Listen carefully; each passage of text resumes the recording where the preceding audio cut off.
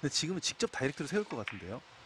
네, 다이렉트로 세울 것 같은데 조금 두꺼웠어요. 올라갔는데 네, 아 이렇게 되면은 다음 공이 좋지 않죠. 그렇게 쉽지는 않습니다. 네. 지금 이제 두께를 아까 말씀하신 것처럼 두껍게 쳐서 다시 한번 내리는 방법도 있고 다이렉트로 직접 세우는 방법도 있는데 음. 지금 거는 조금 어중간했어요. 두께가 좀 두꺼웠어요.